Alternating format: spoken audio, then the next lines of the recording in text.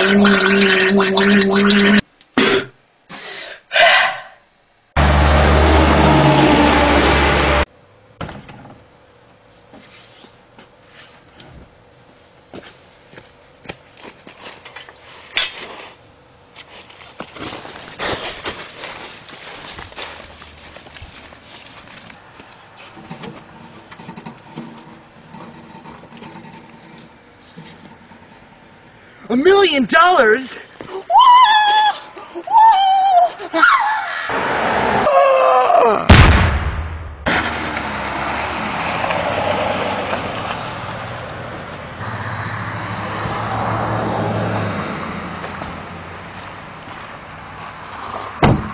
Every year, billions of Americans die in accidents just like this.